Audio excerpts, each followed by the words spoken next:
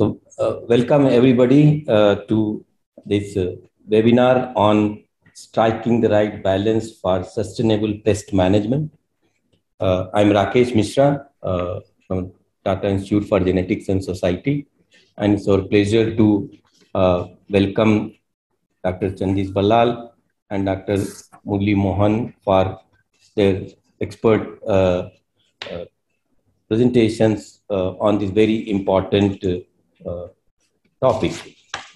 Uh, as some of you may be knowing, uh, Tata Institute for Genetics and Society that's based in Bangalore in GKVK campus addresses societal problems by using high-end technology and try to find solutions to those problems. And the three major uh, programs that we are uh, actively involved are uh, crop improvement, which includes uh, pest control, uh, infectious diseases, which includes uh, surveillance, AMR, and vector control, and rare genetic diseases in which we uh, try a lot of uh, social interaction, developing uh, affordable therapeutics and diagnostics for screening purposes. So today we are going to discuss the, the huge problem of uh, pest control uh, from the agricultural point of view. It's one of the uh, big problem in the country, the country where uh, agriculture provides livelihood to over 60% of Indian population.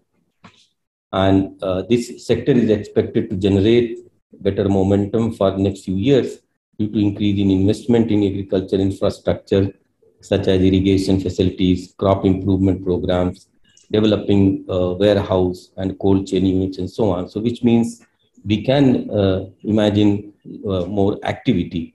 But at the same time, the insects uh, that are the pest pose a great challenge, uh, an enhanced challenge to this sector as tropical climate conditions in India are ideal for continuous breeding.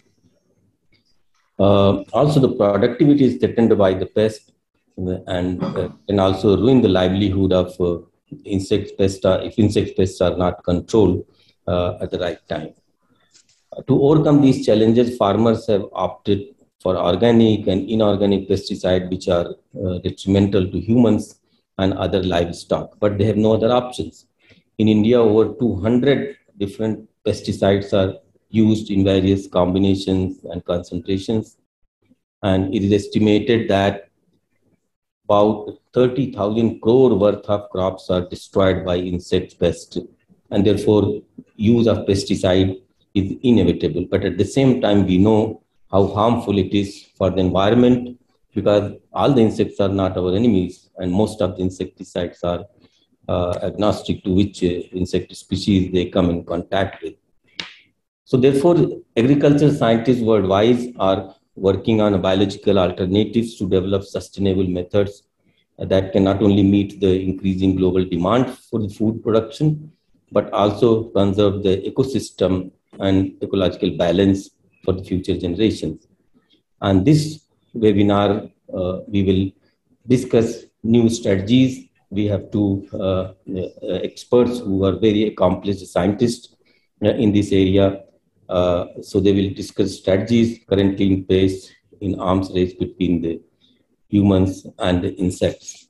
So we are uh, looking forward to uh, today's deliberations. We have the, the way we are organized this is the first we will have two speakers and then we will have a question and answer session which will be moderated by my colleague Dr. Sampath Kumar. And uh, so our first speaker uh, is uh, Dr. Chandish Ballal. It's my pleasure to introduce, introduce uh, Dr. Balal, uh, who has always laid emphasis on environmental safety and sustainability by focusing her research effort on conservation of biodiversity and biological control, a non-chemical mode of insect pest control. Uh, she served as head of the Division of Insect Ecology from 2013 to 2016 and the director of ICAR NBAIR from 2016 to 2020. Dr. Ballal made concerted effort to create awareness of the importance of a healthy environment and to popularize the concept of biological control among all stakeholders. As the director of the ICAR, NBAIR, and project coordinator of AICRP uh, on biological control, she has made all out efforts to strengthen national and international networking to step up uh, taxonomic and biocontrol research in India. Uh, she is now part of uh, several uh, national research advisory committees of uh, ICAR, institutes, and DBT and Government of India. So it's my uh, pleasure to welcome Dr. Ballal for this in this webinar, and we now look forward to your presentation. Dr. Ballal, please go ahead. Thank you so much, sir. Thank you for your uh, kind words. Respected uh, uh, Dr. Mishra um, and, and uh, his colleagues at uh, TIGS, um, Sampath, Sham, Savita, and all the other participants who are here. Um, I think um, I should say that I am really honored that I have been uh, invited to give a talk on sustainable pest management. That is the broad theme um, for today's webinar. And um, uh, I have chosen the topic biological control, a panacea or puzzle. Um, under this topic, uh, though I'm sure that uh, all of you know what biological control means, uh, I felt that I should give a formal uh, beginning to this presentation. So, biological control basically uh, deals with a strategy where you use living organisms, we call them as natural enemies in biological control, to manage insect pests, mites, diseases, weeds, etc. Now, the natural enemies which are used can be parasitoids, predators, they can be weed insects, or even disease organisms and what is done is it is introduced into the environment of the pest. And if already the natural enemy is there, if you do not have to introduce them, what we do under biological control is we come up with strategies to improve their performance or encourage their populations. And thus, we want to reduce the pest organism. So the major aim is to bring down chemical pesticide applications. And always in biological control, there is a human management role. Uh, but in the case of natural biological control, which is generally in forest ecosystems, where uh, the natural enemies try to bring down the population of pests without any human intervention. Now, broadly, uh, I would like to speak about the different uh, biocontrol agents which are used to target insect pests and I'm not going into the uh, plant diseases because it's too huge a topic. I'm only concentrating on insect pests right now. And uh, for managing insect pests, biocontrol agents can be macrobials or microbials. Under macrobials, we have the parasitoids, we have the predators, and also we have the weed insects, which are used for controlling weeds. Under microbials, we have the entomopathogenic organisms, which can be fungal organisms or viral or bacteria. And I have uh, um, put the nematodes with a different uh, uh, color, primarily because some of the researchers consider nematodes as macrobials, but uh, broadly we can call them as microbials, but they are a kind of a microbial with a difference. And the formulated uh, microbials are called biopesticides.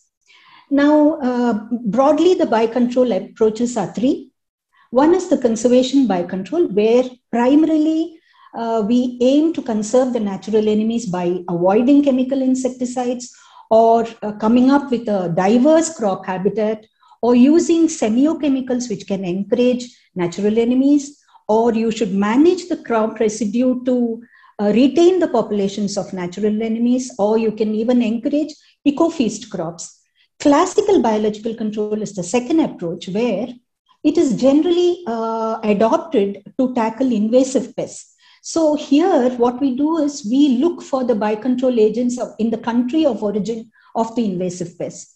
And then we import them and release into uh, the fields where the invasive pest is attacking. And thus we control the invasive pests. The third uh, approach is augmentation biocontrol, which is generally adopted to manage the indigenous pests, not the invasive pests, generally. And uh, you have these natural enemies in nature, but then the population of these natural enemies is not adequate to control them. In such situations, we have to multiply the parasitoids or predators or the disease organisms and release them into the field. This is the augmentation biocontrol.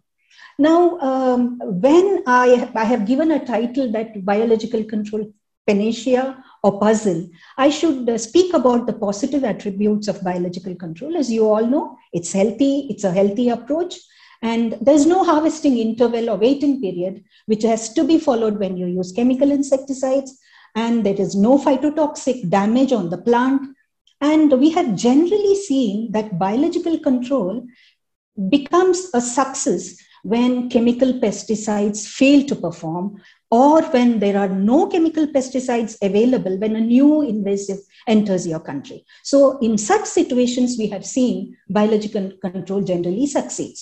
Now, uh, classical biological control, I told you about the, this approach, which is used to manage invasives it isn't a holistic solution. Can we call it a panacea?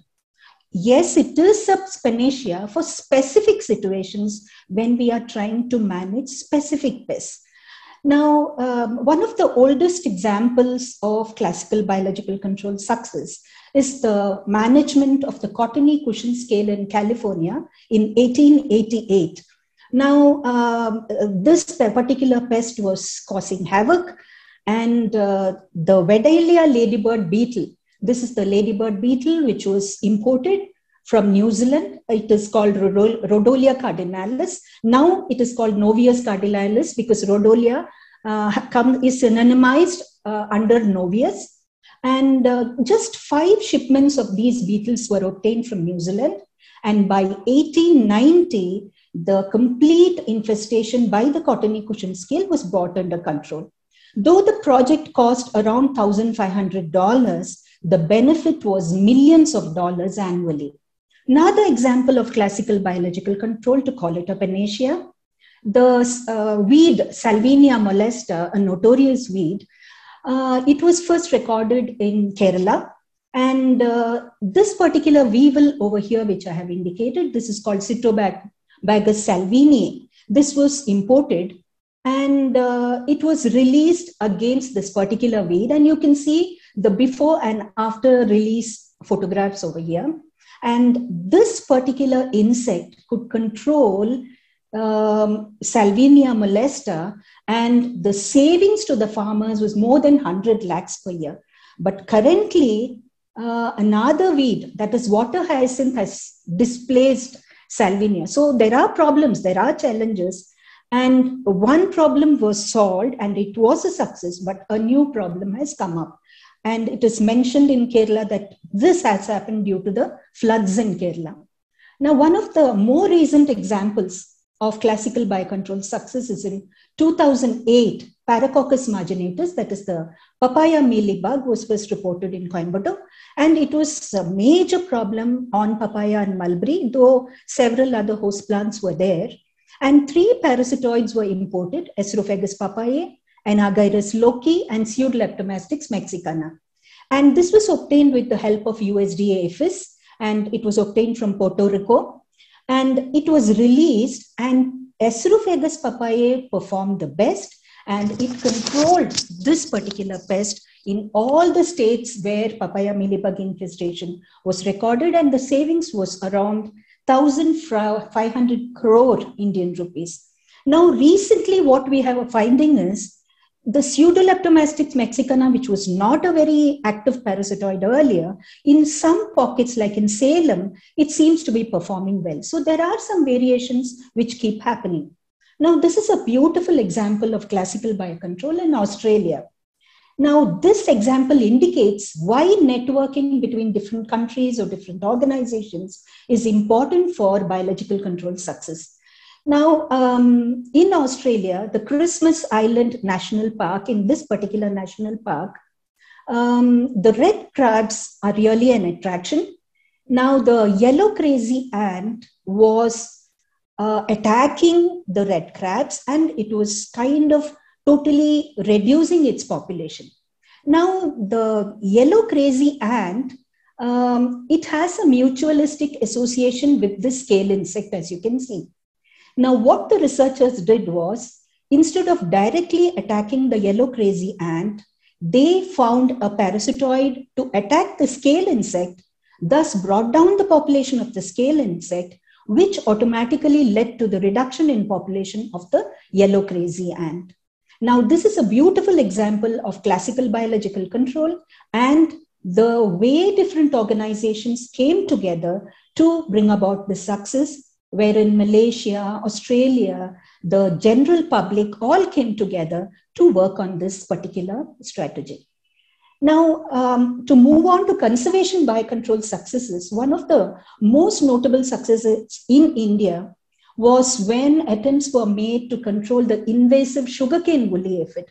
See, I said generally for invasive pests, we import exotic natural enemies. But here is a case where when this particular pest caused havoc in uh, different states like Maharashtra, Karnataka, Tamil Nadu, Andhra, etc., in 2003 4, the indigenous natural enemies which existed in India, like one parasitoid, Encarsia flavoscutellum, and two predators, Dipha and Micromus, immediately found this particular pest to be a target host and they started attacking this pest.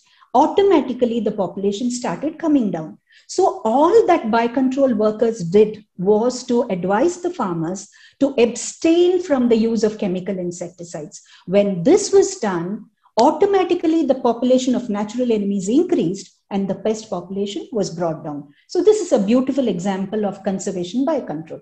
Moving on to augmentation biocontrol, in the greater Mekong sub-region, for the management of rice pests, trichogramma cards, I think you all must be familiar with that. These are cards which are used. They contain tiny parasitized eggs from which the parasitoids come out and attack the egg stage of lepidopteran pests, that is moth pests. Now, um, several organizations came together, like IRRI Philippines, Tianyi Biocontrol Company from China, and CABI in Switzerland, China, and Malaysia, and the Institute of Plant Protection Chinese Academy of Agriculture Sciences. All of them came together. There was huge funding, and 11 trichogramma rearing facilities were set up in GMS, which was uh, considered a great achievement uh, understanding that people are generally very hesitant to take up production of trichogrammatids. Now, here we have an example, a similar example from India, but this happened without any huge funding. In Kerala, the biocontrol based IPM was taken up. And in Kerala, as you all may be knowing, they have the group farming concept, wherein groups of farmers get together and they call these groups as Padasekharams and the state agriculture department is the Krishi Bhavan.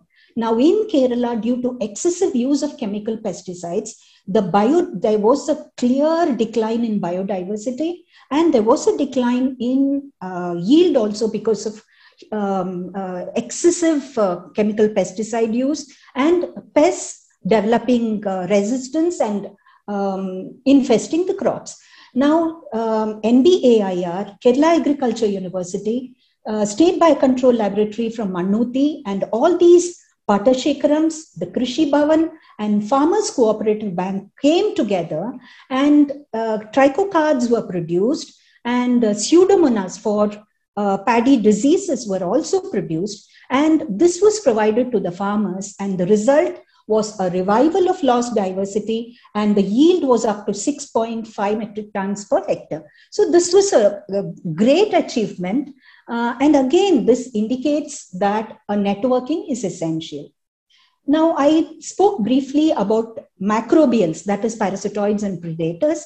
To look at microbials, microbials can be fungal pathogens, they can be virus like nucleopolyhedrosis virus, they can be bacteria like Bacillus thuringiensis, Fungus can be Metarhizium anisopliae or Beauveria bassiana or Lecanicillium lecanii. But the, uh, the hurdle here is that if you have to formulate this and use it commercially in the field, you have to get them registered under the central insecticide board. So this is a hurdle because you have to generate toxicology data, which is very expensive. So this is a hurdle in as far as microbials go.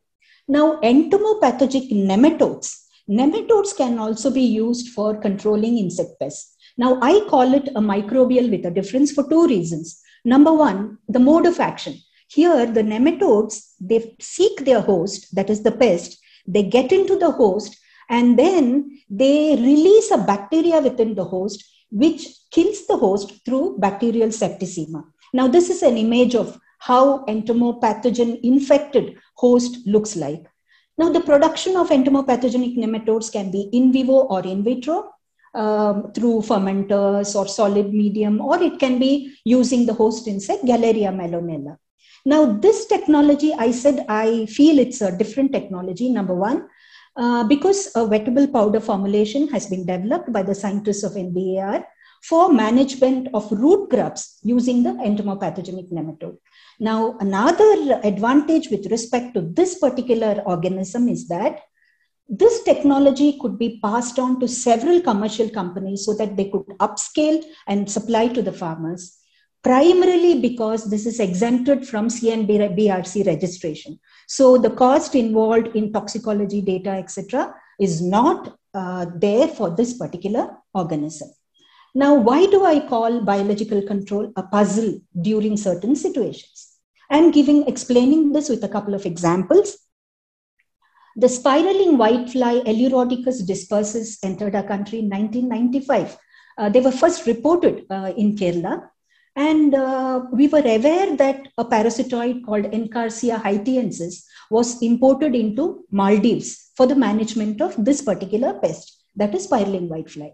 Hence, the scientists from PDBC, NBAIR was then called PDBC, they conducted a survey in the Lakshadweep Islands, which is close, close to Maldives, thinking that they could collect Encarsia haitiensis. But what they found was that in Lakshadweep, a parasitoid called Encarsia guadeloupae has been um, fortuitously introduced.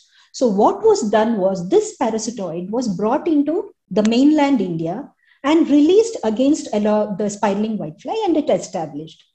And the puzzling part that this particular parasitoid was imported or brought into mainland for the management of spiraling whitefly. But then recently in 2016, when the Rugose spiraling whitefly entered our country and was creating havoc in the coconut plantations and uh, oil palm plantations, this particular parasitoid automatically started finding Rugose spiraling whitefly also as a suitable host and started parasitizing. So the farmers were advised to conserve this parasitoid by minimizing chemical insecticides. And one more uh, potential organism was Isaria fumosorosea, a local indigenous uh, microbial fungal uh, pathogen, which was which could also be used against the rugose spiraling whitefly. So it was a combination of the parasitoid and a microbial, again for an invasive. Now that was the puzzling part that something which was introduced for a particular pest also uh, found another pest suitable to parasitize. Now, another example from Alberta, the amber-marked birch leaf miner, which is called Profenusa thomsoni. Now, this particular pest uh, population was very high, causing havoc uh, in birch, but the population crashed within two years of its invasion. And there were three parasitoids which were responsible for this crashing of the population. Two of the parasitoids, Lathrolestes thomsoni and Lathrolestes soperi, they were of unknown origin. They had just accidentally entered into the country. And there was one native parasitoid, Aptesis segnis, which also was responsible for reducing the population. So here, the interesting or puzzling uh, fact is that even the indigenous natural enemies can attack an invader. So we have to look into the indigenous natural enemies before we think of importing any exotic natural enemy. So an example from India, uh, when the invasive pest Spodoptera frugiperda, the fall armyworm, was first reported in May 2018, we looked at literature and we found that two egg parasitoids are generally recommended globally for fall armyworm management, that is Trichogramma pretiosum and uh, Telenomus remus. But then we had both these parasitoids in our uh, repository at NBAIR. However, we started searching for the different parasitoids which are there in nature, which must be uh, responsible, uh, which could target fall armyworm. We found that several parasitoids and predators in India were attacking this new invasive pest. And uh, out of that, the most interesting were these two egg parasitoids, Trichogramma chilonis and Telenomus remus. Now, here I want to speak about the interesting aspect in this. Trichogramma chilonis is actually an indigenous parasitoid. Now, this parasitoid found uh, fall armyworm as a very interesting host to parasitize and control, which is, which is very advantageous for us. Number two, this parasitoid, Telenomus remus, about two decades ago or more than that, we had imported this for management of Spodoptera litura. Now, it had never established, it was found that it is not a good agent for management of Spodoptera litura. But then, when fall armyworm entered the country and we were randomly picking up patches of four eggs, we found that Telenomus remus, we don't know where it was sitting all these years, but then we found eggs which were parasitized by Telenomus remus. Again, indicating native natural enemies can, uh, interestingly, find invasive pests suitable for parasitism.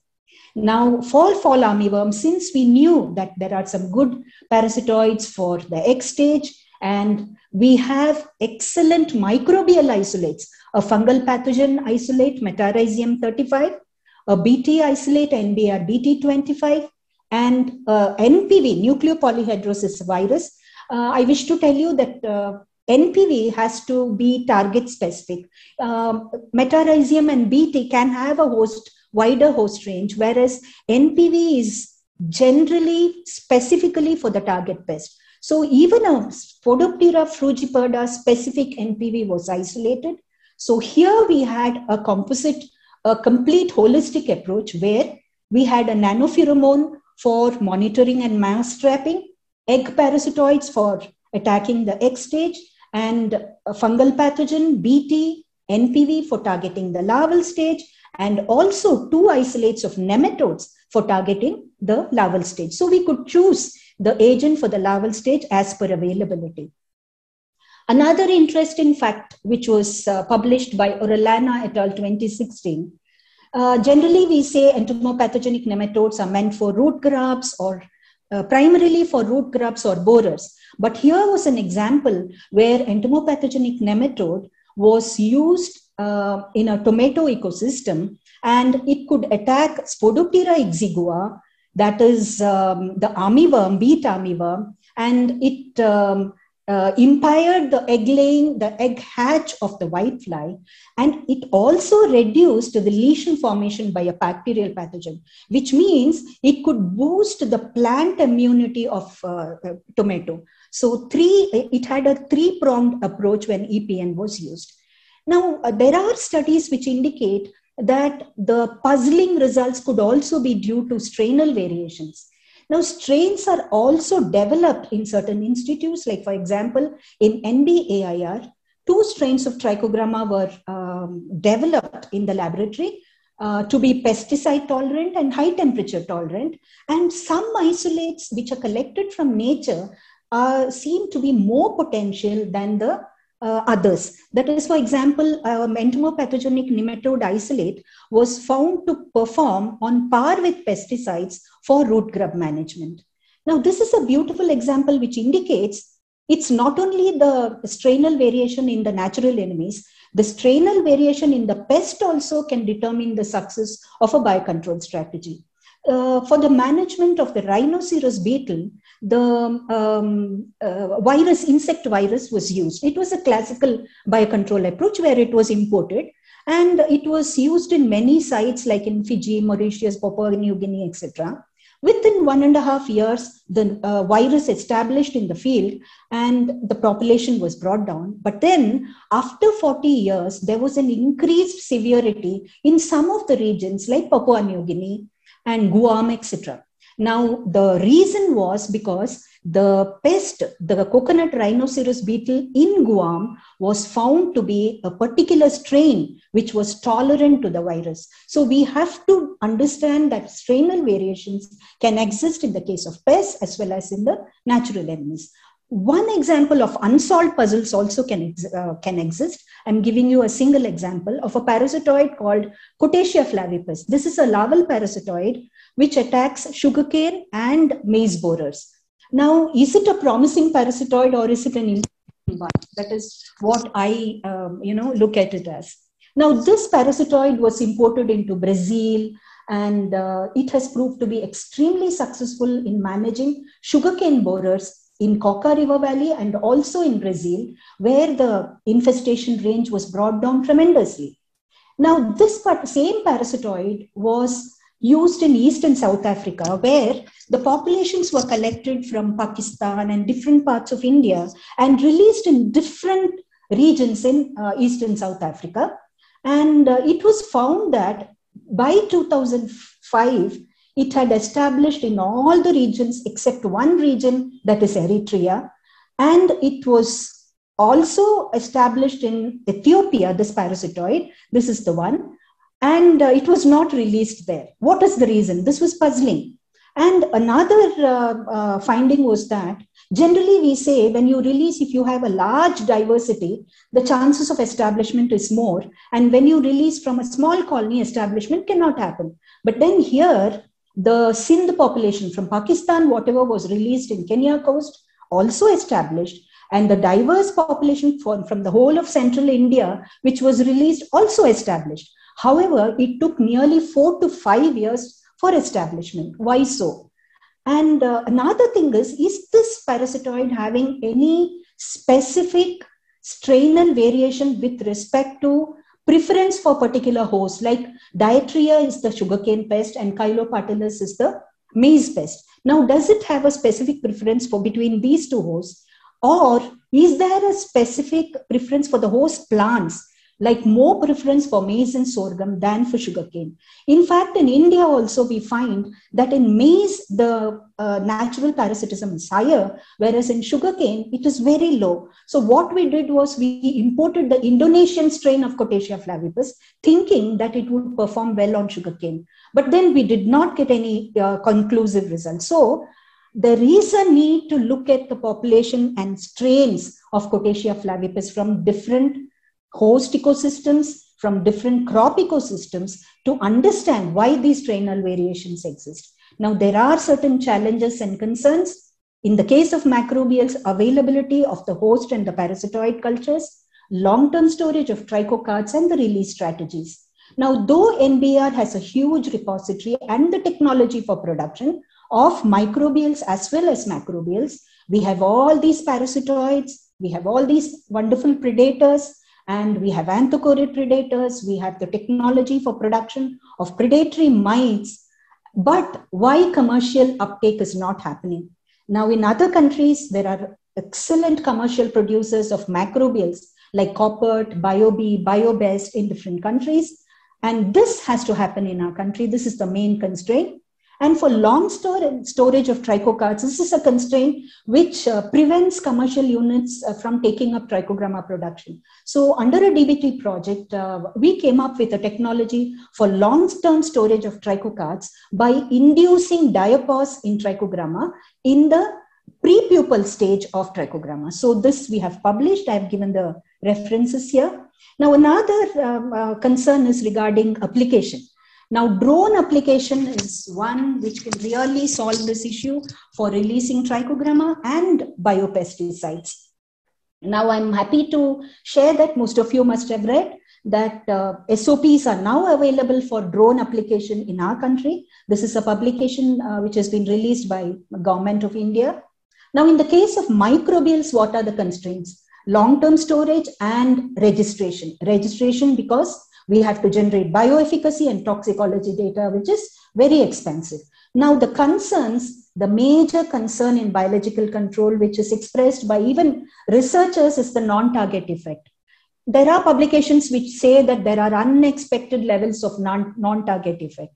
Now, I call it the bad side of few good agents. One example is the Asian ladybird beetle, Harmonia axyridis, which was imported into United States, released, but they found that it was displacing the native uh, wonderful ladybird beetles. So this was even causing a nuisance by overwintering in the attics of houses.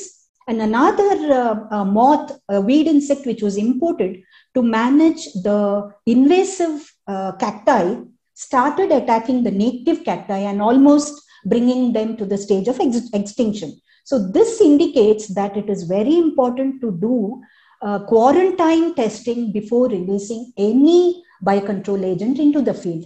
Now, how do we address challenges? There was this example where for managing Parthenium hysterophorus, that is the Parthenium weed, Zygogramma bicolorata was introduced into our country.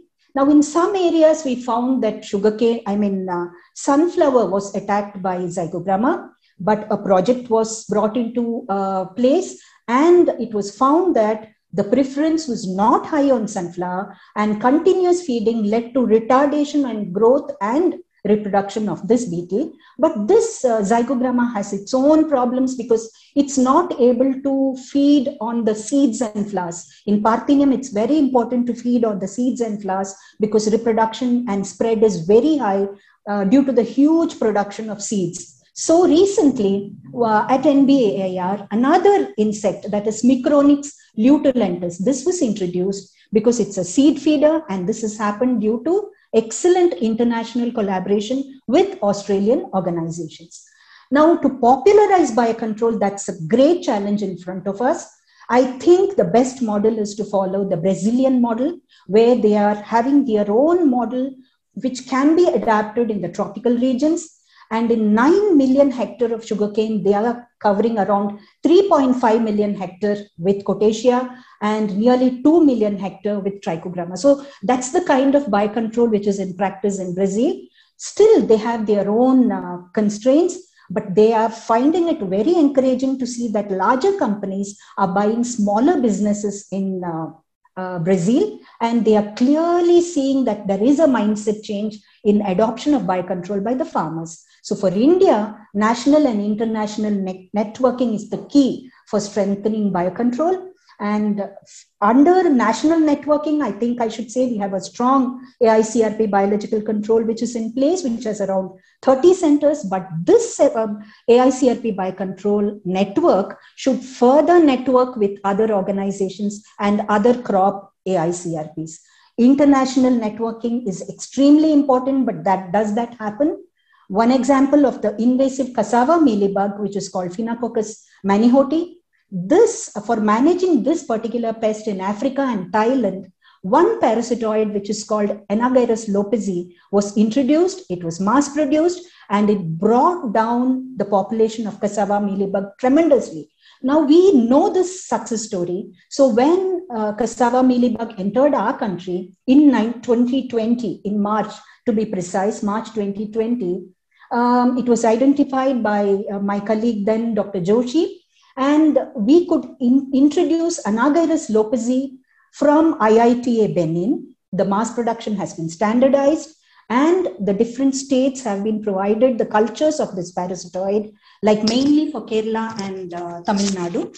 This parasitoid is expected to uh, control cassava mealybug, and we expect that there should be a success story very soon. Now, what is the regulatory hurdle for biological control? See, when we have to import any natural enemy, we need to get approvals and permits from the Directorate of Plant Protection, Quarantine, and Storage. If we have to exchange or we have to provide biocontrol agents to a neighboring country which is really in need of biocontrol agents, we have to get the approval of National Biodiversity Authority. If we have to use a biopesticide, we need to generate toxicology data. Now, this is the regulatory uh, procedure which has to be streamlined if biocontrol has to be more successful. Now, the take home message uh, briefly should be local isolates and native natural enemies are those which need a lot of attention by especially by young researchers who have taken a biocontrol as their area of research and there is a very close link between biocontrol and taxonomy because you need to identify the pest and the natural enemies before taking up any strategy. There should be a perfect planning before choosing and releasing a biocontrol agent to avoid non-target effects. So a very strong quarantine study is essential. Very important uh, aspect is the national and international networking. And we should expect unexpected failures and we should understand what has gone wrong and find ways to solve these problems and solve the puzzles so that we have more opportunities for success stories. Thank you so much for your patient hearing and uh, thank you, uh, Dr. Mishra, for this opportunity. Thank you. Uh, thank you, Dr. Ballal, for very informative, comprehensive, and really stimulating uh, uh, talk. And uh, I'm sure this is the way to go because we have to use the natural means of eco-balancing slightly in our favor when we are talking about agriculture. And I think that's the way to go. Otherwise, uh, other methods are not tenable. So uh, thank you very much. We will go for the next uh, presentation and then we'll take the questions. There are several questions I can see in the Q&A box and more will add. So uh, we will take all the questions after the uh, next presentation. So uh, our next speaker is Dr. K. Murali Mohan.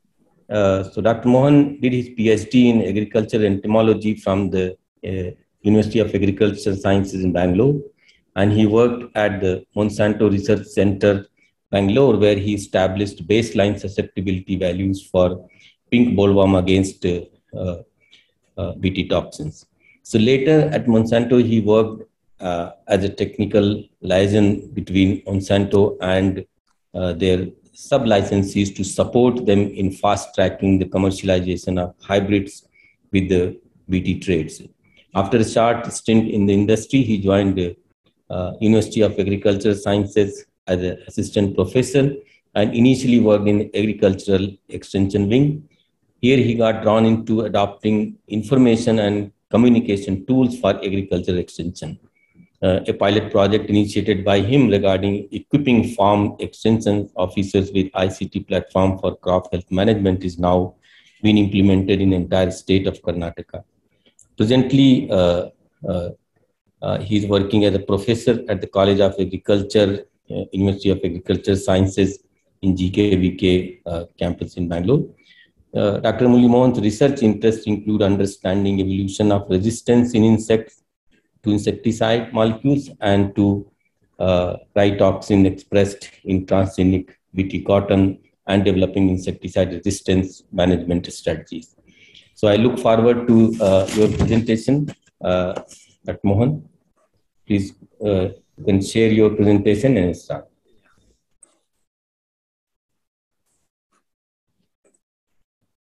Can you see my slides? Uh, yes. You can go in presentation mode. That yeah, yeah. perfect. You're good. Yeah. yeah. Yeah. Good afternoon uh, to all of you. And uh, Dr. Mishra, thank you for that elaborate introduction. And at the outset, uh, I thank TIGS uh, for this opportunity. And today I'm going to talk about uh, the uh, possible repercussions of RIB technology, uh, or RIB strategy, uh, which is used for management of resistance on GM crops. And yeah, so before I discuss about you know the RIB, I thought maybe I'll just give a quick overview of transgenic crops cultivated in India and then take it uh, to the RIB. So the BT cotton is very, very popular in India and BT cotton was introduced in the year 2002. Uh, the, tech, uh, the name of the technology was Bollgard containing CRY1AC gene. Then later on, after four years, another technology called as Bollgard 2 was introduced uh, uh, for commercial cultivation. And this contains uh, two different toxin producing genes, namely CRY1AC and CRY2AB. Well, we all know that you know BT cotton is very popular in India, and that also you know brought a lot of benefits to the growers. There are so many reports suggesting the same, and uh, one such report published in PNAS suggested that there was increase in the yield of up to 24 percent, uh, especially among the you know small uh, scale holders. Then that also brought in 50% gain in the overall profit. This is largely due to you know reduce uh, spending on plant protection measures. And uh, report also suggested that uh, you know these benefits were more stable and sustainable. Because of uh, these huge benefits that farmers get, the technology also become very popular over a period of time. And at present, uh, close to 11.5 million hectares of BT cotton is cultivated in India. And that translates to around 95% of the total cotton that is cultivated. And uh, all uh, this 95% of the BT cotton contains Bollgard 2 technology. Well, the report uh, then in PNAS published in the year 2009 suggested that benefits are sustainable and more stable. But going forward, now we realize that those benefits are not actually sustainable because of the evolution of resistance in, in, uh, in insects against these cryotoxins. Well, this is a major challenge in India, and this is also a major challenge in, uh, in other countries. But in other countries, especially in the US and China, they have been able to manage the resistance uh, um, in case of GM crops. But unfortunately, in India, we failed uh, miserably to manage resistance development in insects. So, well, uh, before the introduction of uh, BT cotton in India, elsewhere around the world, scientists proposed various uh, insect resistance management options. Among them, two options are most striking, more prominently projected. Uh, the first one is gene pyramiding, and uh, the second one is high dose refuge strategy. Well, what is gene pyramiding?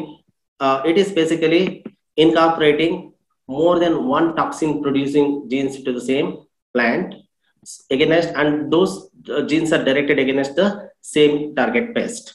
Well, the idea here is that since the binding receptor sites are different for these toxins, even if insect evolves resistance to one particular toxin, and that uh, the benefit for the insect is nullified by the expression of another toxin, so so therefore uh, that will eventually delay the development of resistance.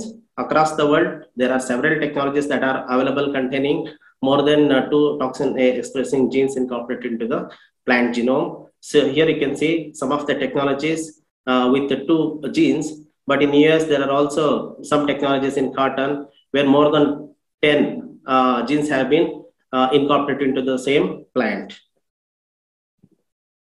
So one of the major you know, benefits that mathematical models suggest by going for pyramided genes is that it significantly delays the development of resistance even with reduced refuge requirements. You can see here in this graph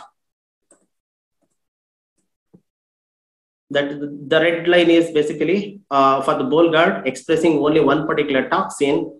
And here it will take about 20 years to develop resistance at 10% refuge. But if we actually simultaneously incorporate both cry1 and cry2 toxins into the same plant genome, uh, which is uh, nothing but Bollgard 2, that will take 20 years, but almost at node refuge levels. And if the refuge is extended, uh, then it will take many more years to develop resistance. So this is uh, what is uh, projected uh, as one of the IPM you know, strategies, sorry, IRM strategies for mitigating the evolution of resistance in in GM crops. Another very, very widely adopted IRM strategy is basically refuge. Well, let me first explain what is refuge. In simple terms, refuge is a area in terms of block or the area around the main cotton field or main transgenic uh, crop field that is, that is basically planted by the farmers and these plants are planted in the very close proximity with the BT cotton plants. So the advantage here is that this strategy will basically help in delaying the development of resistance. Now let me explain how actually it works. So on the right side, you can see is a big block that refers to BT crop and the left side is a small block that refers to basically non-BT crop or refuge area. On BT crops, there is a possibility that small individuals may survive uh, because they have uh, the inherent ability to, uh, you know, survive and then they are called as uh, resistant individuals. And in the absence of refuge, if those individuals mate among themselves and the resultant progeny will be basically resistant to cryotoxins. Well, the other scenario is now with the refuge. Now, what happens with the refuge is that there are also individuals developing on the non-BT. Refuge is nothing but non-BT plants. And since the plants are not expressing BT toxins, there is a high possibility of many individuals developing there as compared to a number of individuals that develop on BT crop. And there is also high probability that the resistant individuals will always find mates among the susceptible zygotes that develop on non-BT crop. And since the inheritance of uh, resistance uh, here is basically recessive, and therefore the resultant progeny is susceptible to cryotoxins. So when uh, the resistant individual mates with the susceptible uh, individual developing a refuge, and it produces offsprings, which is basically susceptible to cryotoxins, and therefore when it feeds on the BT cotton in the next generation, it is killed, and that's how actually we can basically bring down the development of resistance probability here. So this is also called as high, def, high dose refuge strategy because the expression of toxin in BT cotton is around 20 to 50 times uh, of that of you know LC99 or LD99 values, and therefore there is no possibility of survival for this F1 offsprings on BT cotton plant, and therefore it is called as high dose and refuge. Well, the next question is what should be the ideal refuge size? There is no uh, uh, exact answer for this because it depends on various factors. Like it depends on the pest biology and behavior. Then what is actually extent of natural refuge available in, in the country or in the region where the BT crop is cultivated and local cultivation practices. And it also depends on socio-economic factors. So we need to factor in all these things before we decide the actual refuge size.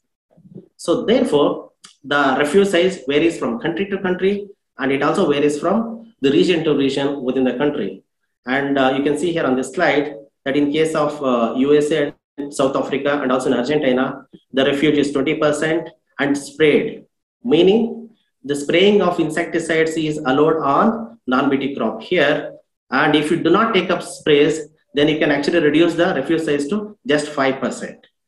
Whereas in case of Australia, it is 10% and uh, 5% unsprayed on pigeon pea. So there is also alternative host plant that is given here. Instead of cotton, they can also plant their pigeon pea. Then in China, there is no refuge, mandatory refuge requirement, and they rely largely on natural refuge, which is also called as unstructured refuge. And mandatory refuge is called as structured refuge. Well, in India, the regulation is that uh, the farmer should plant 20% of the non-BT around the BT field as refuge or five rows of non-BT cotton, whichever is larger. So uh, henceforth, I'll be referring to uh, you know uh, the refuge here as a block refuge in the uh, when I discuss uh, uh, about refuge in relation to you know rib or refuge in bag that I'm going to discuss later.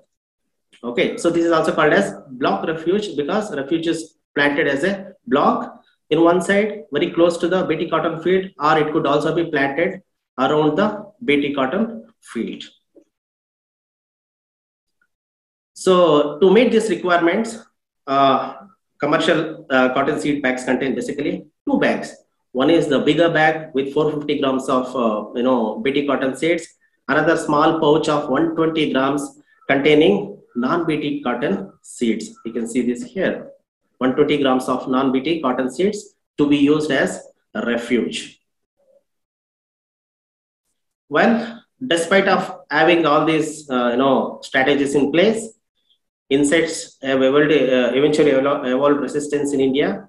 And in fact, what was very surprising here is that the, the reports of occurrence of uh, resistance uh, was uh, noticed uh, as early as in 2011 here, but actually it was uh, the there were also a few reports of occurrence of resistance way back in 2009 itself.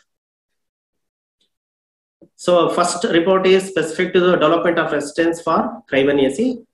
And the second one is uh, the development of resistance for both the toxins, that is for CRY1AC as well as CRY2AB in India. And that was reported in the year 2018 but uh, eventually actually it was reported uh, or uh, people saw the development of resistance way back in 2014 to 2016 well then scientists in India and also across the world started discussing about what could be the possible reasons for development of resistance uh, in PBW uh, in India particularly. And then finally they hit upon one particular factor that is poor compliance of refuge by the farmers, which means farmers did not uh, plant uh, non-BT uh, cotton plants as a refuge and therefore that basically led to the development of resistance in pink bollworm. And because of this reason, some of the scientists also called for revision of the policy related to refuge requirement in India. And in the process, they proposed to go for refuge in bag strategy with 20% non-BT seeds as a the refuge requirement. Well, refuge in bag is also referred to as refuge in seed mix, or it is also called as built-in refuge. So these are the different terms that are related to refuge in bag. Well, the idea here is that the non-BT seeds are mixed in uh, the cotton seed bag, and uh, both BT and non-BT seeds look similar in appearance, and therefore farmers will not be able to segregate the non-BT seeds from uh, BT seeds and uh, eventually they're going to plant both BT and non-BT seeds together. And this will ensure the complete compliance.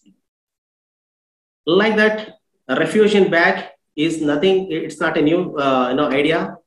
It was first approved for BT corn way back in 2010.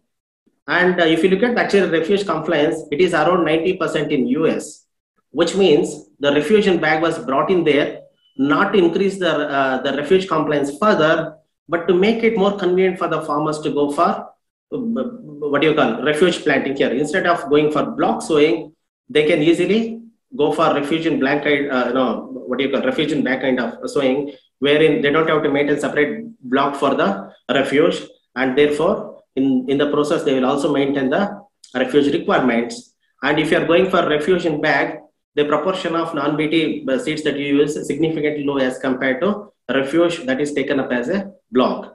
In fact, in certain cases in US, the non-BT seeds that are mixed in the seed bag are also basically colored. You can see in the picture as well, so that farmer would actually know what is the proportion of non-BT seeds that are mixed in the seed packet. Then now actually I'm going to discuss a rib or refuge bag in the context of major insect pests that occur on cotton plant. Of course, BT cotton is basically uh, introduced to tackle bollworm problems. There are four different species of bollworms. Among them, two species are, are considered as major ones that cause significant damage. One is American bollworm, Helicoverpa armigera, and the other one is pink bollworm, Pectinophora gossypiella. So what is the possibility of consequences of rib or refuge in bag on Helicoverpa armigera? When this idea was mooted, then we argued that this idea could be actually counterproductive in terms of managing the resistance. Why we thought so is because of the following reasons. In case of Helicoverpa armigera, the caterpillars are known to move from one plant to other plant and in its lifetime, each caterpillar would feed around three to four bolls. And if you look at the way we plant uh, the, the uh, you know cotton, so most of the in most of the fields we can see branches overlapping with each other, and uh, this basically is a high probability because of the lot of emphasis given for high density planting. High density planting means we're going to have more number of plants in the same unit area, and we need to in that case we basically reduce the spacing between the plants and that basically results in high probability of intermixing or overlapping of the branches of different uh, plants in the neighborhood. So you can see here, this is what we get to see uh, more often in the cotton field that branches of different plants overlap with each other.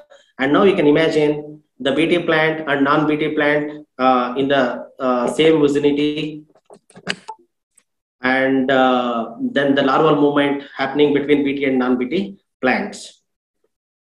So now the question is, okay, fine. The larvae are moving from one plant to other plant. So what is the impact of it? Well, there is now two possibility here. One is the possibility of movement of grown-up caterpillars from non-BT to BT plants. In that case, the grown-up caterpillars are exposed to sublethal doses of the toxin on BT because the toxin that is required for the young caterpillars to get killed is not same for the grown-up caterpillars. Therefore, grown-up caterpillars normally require, you know, higher content of uh, the toxin, and therefore, in that case, those caterpillars are exposed to some lethal doses, and therefore, it can actually lead to evolution of resistance. Then another scenario would be that young caterpillars, when eggs hatch out, they, the caterpillars move from non-BT plant to BT plants. In that case, the, those caterpillars are killed because of expression of toxins in the BT plants. Well, what is the impact of it? We basically grow refuse to conserve susceptible zygotes, susceptible individuals there. When those susceptible individuals are killed, then obviously we do not have sufficient number of susceptible individuals for mating and then producing you know uh, the offsprings that are going to be uh, susceptible to the bt toxins. So eventually that's going to defeat the very purpose of refuge. So in the both the contexts it appears it may not work well to delay the development of resistance in case of helicoverpa armigera now let me discuss what happens when we go, when we have rib in relation to pink bollworm incidence and damage and resistance. Unlike Helicoverpa armigera, which stays outside the boll and then feed um, on the lint, pink bollworm usually gets into the boll, it stays within the boll during its entire larval period, and it is a seed feeder. It feeds only on the seeds. Well, now we should also discuss uh, uh, in the context of poly kind of pollination that uh, that is the, there in the cotton. Cotton is considered as an often cross-pollinated crop. And, and uh, a general note, uh, literature says that there is going to be 5 to 25% cross-pollination. However, there are also some reports suggesting that the extent of cross-pollination is up to 60%. So what happens when there is a cross-pollination between BT and non-BT plants in RIB system? Well, because of the pollen mediated gene flow between BT and non-BT plants, we get to see both BT and non-BT plants occurring in the same boll, which means the pink bollworm caterpillar is now going to feed on both BT and non-BT seeds within the same boll, and that will definitely will lead to increase in the possibility of development of resistance. Despite of all these risks, uh, the government uh, notified uh, the RIB strategy or refuge in bag strategy, saying that cotton seed packet will, will contain 475 grams of seeds and in that 5 to 10% of the seeds should be non-BT, which means there is a now provision to include up to 10% of the non-BT seeds as refuge. And these seeds are mixed now in the same bag Whereas in the previous case, the 120 grams of non-BT seeds were available as a separate pouch. So we should also now know that in India, BT cotton crops are cultivated as hybrids, not as varieties as in case of USA. So what does it mean? Basically, now we are crossing two different plants and therefore it's very difficult to maintain 100% trait purity. Trait purity, what I mean here is the, the percent of you know the BT toxin producing genes present in the seeds. When I say 90%, it's that in a seed packet, 90% of the seeds will have toxin producing genes and remaining 10% could be non-BT seeds. So these were the guidelines uh, by the government of India, which means knowing the fact that it's difficult to achieve 100% trait purity, government already gave a cushion during, uh, uh, you know, block system of refuge to have 10% non-BT seeds in the seed packet. Then what was interesting for us to know here is that uh, before RIB uh, came into existence, we thought we'll basically assess the trait purity that exists in the BT cotton seeds that are sold in uh, uh, India. So what we did here is we sampled uh, 78 seed packets uh, around around India, basically you know collected in different states, and these seed packets represented 25 different hybrids, basically popular hybrids produced by 15 well-known companies. So from every seed packet, we collected 90 seeds. Then we analyzed for the presence or absence of Cry1 and also Cry2AB toxins in them. So this is the outcome of the study. What is says is that, uh, what we noticed rather is that around 93% of the seeds had both Cry1AC as well as cryo toxins in them. Okay, so here in that case, trait purity is 93%. And 1% each had only Cry1AC toxin and or only cryo toxin. And 5% of the seeds did not have any of those toxins, which means they are non-BT toxins. And in fact, what was also very interesting to uh, know from our study is that the extent of trait purity varied significantly across uh, different hybrids produced by different companies. And the lowest was 61%, which means 40% of the seeds uh, either did not have any uh, toxin producing genes or had only either one of the genes in them. And 30% of the seed packets had trait purity of less than 90%. So, well, these were the initial apprehensions that we all had. Now I'm going to discuss uh, some of the field reports after the implementation of RIB in, in particularly in USA, where it is in practice in BT corn. There are several reports talking about evolution of resistance or increase in the rate of resistance in RIB regime as compared to block regime. Due to the paucity of time, I've chosen only two or three uh, studies to talk about here. So one such study is from US here. You can see the challenges for seed mix uh, refuge strategy in BT maize. So what uh, this uh, study suggests is that there is a very high degree of contamination or cross-pollination when we go for RIB system as compared to blocked system of refuge. Here, research tries, uh, try to analyze the contamination in three different uh, technologies expressing three different types of toxins and uh, the highest uh, cross pollination was 55%, which means in case of rib, which means it is a basically non-BT plant, 55% of the kernels had BT toxins. So there is a cross contamination between BT and non-BT plants here. And in some cases, it was 14%, and in another case, it was 30%. Overall, what they concluded is that the RIB system is unlikely to provide a required refuge population because of the cross contamination. And when there is a larval movement between BT and non-BT plants, particularly in this case, earate caterpillar and stalk borers, that results in high probability of development of resistance. So it is in a way counterproductive to mitigate or to delay the development of resistance. Similarly, there are also anecdotal reports suggesting cross-contamination in rib system compared to block refuge system. In one such case, scientists have noticed 62% cross-pollination on refuge bag system of uh, refuge as compared to block system. So 62% contamination is very, very high. It is almost equivalent to your planting non-BT maize here. And uh, the Pat uh, Porter, uh, who is extension entomologist in Texas A&M, went on saying that there is a lot of data now available to say that seed mixtures or seed blends in BT along with the BT results in increase in the development of resistance in ear feeding caterpillars. Similarly, there is also another anecdotal report saying that will basically hasten up the development of resistance in case of ear-red uh, worm or uh, corn worm Helicoverpa zea. Well, let me discuss now about the seed mixture and its repercussions on insects that feed on BT cotton. This is what is more exciting, interesting for uh, us, isn't it? So here, uh, there is a uh, very good publication published in scientific reports, and one of the authors is Bruce Tabashnik, and arguably he is one of the best minds working in the area of you know, insect resistance on genetically modified crops.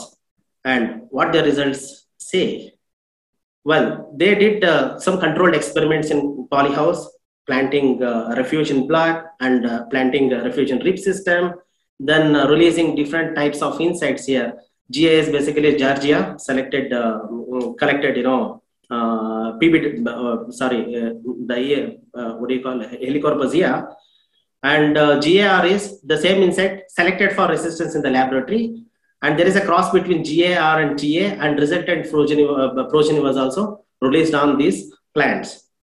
So what they noticed here is that in case of seed mixture, the survival of the population was very high. And in case of block system, survival of the population was very less. So which means there is a high survival percentage because of movement of insects from BT to non-BT plants and vice versa. And therefore there is a higher survival percentage in case of seed mixture as compared to block system. And further, they applied this data into the genetic um, population model systems and then they figured out that if you go for basically RIB system or refuge in bag system, and that will basically increase the possibility of development of resistance by 2 to 4.5 folds over block system. So this is a kind of conclusive evidence because this is not just a mathematical model, it is also based on the empirical evidence, the experiments done in polyhouses in controlled conditions, simulating different systems. There might be some differences when we go to the field. Nevertheless, the field situations were simulated here in controlled conditions and they generated these results. Well, in case of uh, pink bollworm in India, we all know that it is occurring in very serious proportions in different states wherever BT cotton is cultivated and causing devastating losses. And this is a CR, report uh, suggesting very high levels of PBW infestation. There is also publication suggesting that PBW has developed resistance. And again, the occurrence was not confined to particular location of the state, but it is widespread. It is present in different, uh, almost in all the places wherever BT cotton is cultivated and occurring in very, very serious proportions. Now, we might argue that poor compliance of refuge led to the development of resistance. But one of our studies clearly suggests that ever since uh, we went for BT cotton cultivation in India, we had a kind of rib already uh, in place because uh, because of you know different kind different uh, you know levels of trait purity that existed in uh, the seed packets and on average it was 5% of non-BT seeds that were present uh, across the seed packets that is actually equivalent to the proportion of non-BT seeds now proposed in RIB requirement. Yet insect has developed resistance. So we need to now ponder as to what went wrong beyond this refuge compliance. To just sum up here, there are now many field evidences, many reports suggesting that refuge in bag actually can be counterproductive. It can basically increase the possibility of development of resistance instead of delaying the evolution of resistance. And therefore, we have to be very, very cautious when implementing such strategies. But in India, already it's being implemented. Then if you ask me a question, will that have an impact on the refuge compliance? When I say refuge compliance, actual refuge compliance in terms of delaying the development of resistance, my answer would be no, because of the supporting evidences that we have so far but I do not have direct evidence, rather, we do not have direct evidence to say that it may not actually uh, be useful. But in that case, my optimistic answer would be I'm not sure about it. So that's what I wanted to talk about today. And I thank TIGS for this opportunity. And I thank all of you for your patient hearing. Uh, thank you so much. Thank you. Thank you very much, uh, uh Professor Murli Mohan for very informative talk and uh, revealing how uh, refuge uh, strategy is not working. In fact, I've seen many farmers, they just don't use the refuse packet and continue with that. So thank you very much for pointing it and uh, elaborating strategy. And uh, so now we will uh, go for uh, taking questions and further discussions. So I'll request my colleague, Dr. Sampath Kumar, to take over from there. Thank you so much, sir. Uh, uh, as a matter of fact, we have just received a lot of questions in the Q&A box, but uh, we are just restricting, uh, restricting ourselves for a few questions. Uh, the first question uh, will be to Before that, Dr. Murli can you stop sharing your presentation so then yeah, the panel can come on the. So, yeah, perfect. Thank you very much. So the, one of the questions is uh, the impact of biological control agents is not so immediate. So uh, how can we convince the small scale farmers to use these uh, agents as a biocontrol agent and implement them in their fields and that too in conjunction pest control packages that they are already following? Um, uh, thanks, Sampath. Uh, I think most of the questions I have answered in the Q&A box. I think I missed uh, responding to this particular yeah, question. Um, now, um, basically, uh, what we do is uh, many of the trials uh, are conducted in farmers' fields um, or by involving the farmers in the demonstration trials which are conducted in the universities. So, this is one way by which uh, the farmers can be convinced uh, on the usefulness of the strategy which has to be adopted. For example, uh, when the fall armyworm Uh, uh, invasion happened in uh, 2018, we had plots in our field campus at Yelahanka. And we invited the farmers and we showed them the plot and we even showed them the EPN infected larvae. Um, we could show them the uh, patches uh, on the plants where we have released the virus and how the viral symptom looks like. So, by involving farmers in the trials or by conducting demonstration trials in the farmers' fields, I think that's the best way to convince the farmers, especially the smallholder farmers. Uh, that's my opinion. Have I responded to your question, Sampath? Yeah, I think I think uh, it's mostly answered. Uh, the other question is to Dr. Uh, Murli Mohan. So uh, most of the cotton growing belt, uh, they are small and medium scale farmers. So uh, with the prices being uh, different for BT cotton and the regular cotton seeds, how will that affect the farmers in choosing the different cotton seeds for growing? And will the small scale farmers be able to have this block set aside for the refuge purpose? Well, uh, in terms of you know, cotton prices, uh, uh seed cotton BT cotton seed prices, I think uh, it is uh, at you know, affordable levels. Now each pack would cost around 800 rupees.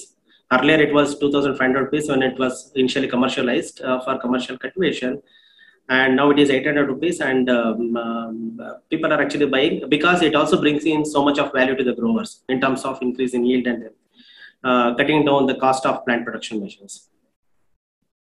Yeah. And your second question was uh, the refuge, isn't it?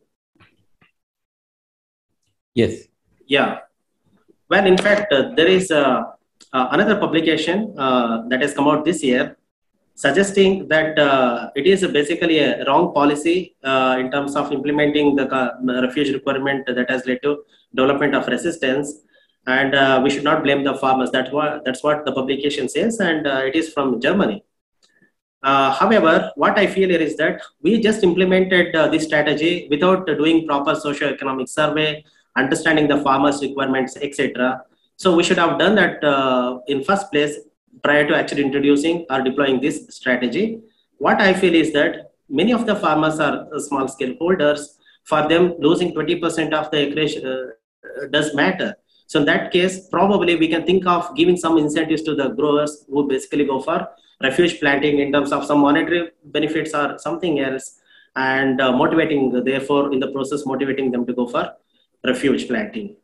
So there must be some incentives given to the small farmers if they want to go for refuge. In if you actually do that probably we can ensure good compliance in terms of refuge planting. That's what i feel uh, are there any uh, complaints officers in place when the planting happens? Uh, do anybody go to these fields and are there any complaints officers as such? No, at present there is no such system to basically monitor and then then ensure the complete compliance. There is nothing like that. The next question is to uh, Dr. Chandish ma'am. Uh, uh, when, whenever there are fluctuations in the pest infestations, so um, how do we maintain these biocontrol agents? So whenever there is a requirement, uh, we need to scale it up, we need to scale it down whenever there are less number of pest infestations happening.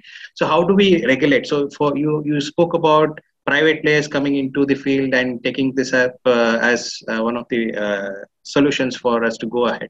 So if we are to plan this, uh, this would be a highly dynamic situation wherein the pest levels would increase or they would change. So how do we regulate this and what would be the costing of all these things?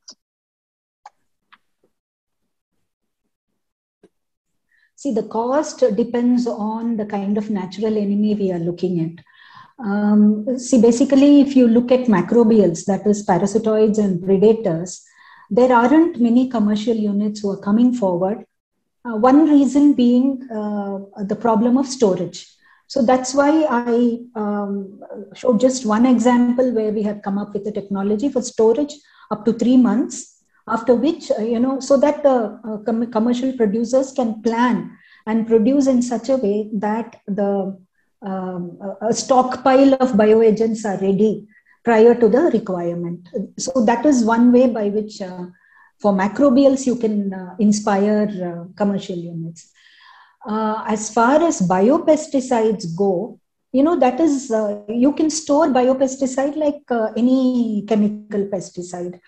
And uh, somehow the bigger companies are not coming forward to uh, produce biopesticides. So, in some of the uh, brainstorming sessions, you know, I used to mention to the chemical companies if they could produce a couple of biopesticides along with their chemical pesticides so that the science of biocontrol can also uh, be spread and uh, sufficient can be produced. If you look at the production of biopesticides, you will see that uh, majority of the commercial producers are small companies. They are not the um, bigger ones. So um, one way is to, uh, as I told you, biopesticides, if you have, whether there is a fluctuation, and uh, if there is an increase, accordingly, you can use the biopesticides. And for macrobials, there has to be very good planning. You cannot uh, produce or release microbials without planning. It is a science in itself. So um, I think that is the uh, response. And you need research backup. So this cannot happen with just a commercial company picking up the technology and trying to do it. It should be in a network mode, a public-private kind of partnership which can help in um, you know the, the the final aim is to see that chemical pesticide load is reduced so i think that's the answer i have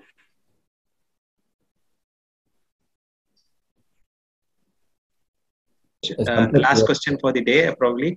Uh, is there any disadvantage that resistant bollworms will not grow on normal plant? uh, why don't resistant insects grow on both BT and normal plant and compete out uh, for normal insects in the refuge processes? So this is for Dr. Uh, Murli. So the, basically the question is, uh, do we see that uh, resistant uh, bollworms also grow in normal plants? So why can't we have certain blocks wherein they are being grown there? Resistant illusions. Correct. I didn't get your question. Uh, I'll just read it out once more. Yeah, yeah is there a, uh, is there any disadvantage that resistant bollworms will not grow on the normal plant? Why don't resistant insects grow on both BT and normal plants and compete out normal insects in uh, refuge purposes? Well, resistant individuals can grow on both the plants, both BT as well as non-BT plants. All the insects can breed and develop on non-BT plants, but only resistant individuals can breed and develop on, develop and rather breed on BT cotton plants. Uh, so uh, follow-up question would be like that. So why can't be there separate blocks being maintained for uh, uh, these plants? So so that they are also there and such a, such cases where the resistance increases not be there.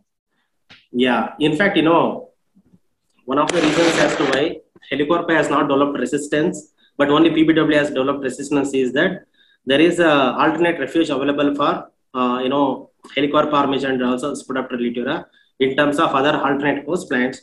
But for pink bollworm, it is being a monophagous insect, no other alternate host plants available, and therefore that will lead to inbreeding and then development of resistance. Well, I'll just add uh, one more thing here. To mitigate the development of resistance, what they have done are basically to address uh, the resistance in PBW in years. Uh, what they have done is they went for sterile insect technique, wherein they released billions of sterile uh, males of pink bollworm using aircrafts in the area where PBW was a major problem. And this was done for about eight years, uh, from 2000, uh, you know, uh, six to 2014. And in the year 2018, they kind of announced that PBW is completely eradicated from that place. So we need, I think, look beyond these things uh, to address this PBW problem in India. And certainly there are other options available. What I feel is that we, when BT was uh, commercialized in India, uh, we all thought the way it was projected is that it is a panacea and that is a one uh, solution for all the problems that we had. But that should have been projected as a one of the components in IPM. which means we need to integrate all other measures and BT cotton is one of the IPM components. And if that was told properly, probably we didn't, have, we would not have this problem now. So now I think we need to go beyond refuge and think of other options, including implementation of IPM practices to restore the susceptibility. I think uh, that's it. So we are just running yeah, out there of is, uh, Sampath, if you don't mind, there is another question in the chat box uh, by Dr. Anjana. If you don't mind, can I take one minute to answer the question? Sure, sure, sure, sure. The question is that uh, do they have to buy, do the farmers rather have to buy BT cotton seeds from agencies every year or they can plant seeds obtained from BT crops next year? Well, uh, Dr. Anjana, actually the BT cotton seeds are um, cultivated as hybrids here. And if farmers use their own seeds, then that will have a lot of impurities. Supposing uh, if they are using Bollgard 2 uh, seeds of their own, then uh, that will have the, you know, the segregation of seeds in the ratio of 9 is to 3 is to 3 is to 1, which means only uh, 9 ratio is positive for both 1AC and 2AB, 3 positive for 1AC and minus for 2AB, and vice versa for another 3, and 1 uh, is absent for all the traits. So they may not be able to achieve the required trait purity if farmers use their own seeds, and therefore they always rely on the industry or seed manufacturer uh, uh, to produce the seeds. Thank you, sir. I think there are still a lot of questions. Uh, I just request the uh, participants that uh, all the answers will be mailed back to your personal mail IDs. Uh, on that note, we'll just say thank you.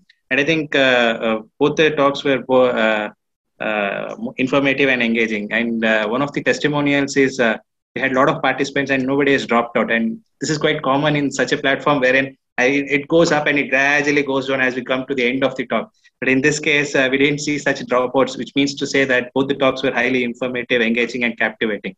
I thank both the speakers and request Rakesh sir to propose the vote of thanks. You have already done that, so I my only uh, uh, very pleasant job is to to thank both uh, Dr. Chandish Ballal and Dr. Uh, Murli Mohan for uh, accepting our invitation and giving fantastic talks, which kept 150 people engaged for the past one hour, one and a half hour. And it was very uh, uh, uh, thought-provoking also, many things that the one side is biological control, the other side high-tech approaches and what are the difficulties and what are the uh, possible solutions and these are something uh, really hot topics and so important for uh, our country i mean whole world but since we have lots of stress on our agriculture and best particularly in this kind of environment it's particularly important that we uh, adopt the best and sustainable technology so that uh, food is available and we don't get into uh, any major difficulties or spoil our environment. So thank you both very much and we'll continue this discussion in various forms and hope that we will work together to come out with some of the solutions which are so much uh, needed for the society. So, and I thank all the speakers uh, uh along with uh, uh, them, all the participants for registering and participating and putting so many questions uh, it's really the Q&A is flooded with that, but we will take care of all the questions and uh, give you the answers after obtaining them from the experts. And with that, I thank uh, everybody who's uh, uh, made arrangements for this webinar and look forward to such stimulating sessions in near future. Thank you all very much and stay safe. Bye-bye. Bye. Thank you, sir. Bye, sir. Thank you, Dr. Murli. Thank you, Sampath. Thank you, ma'am. Thank you, Savita. Thank you, Sham.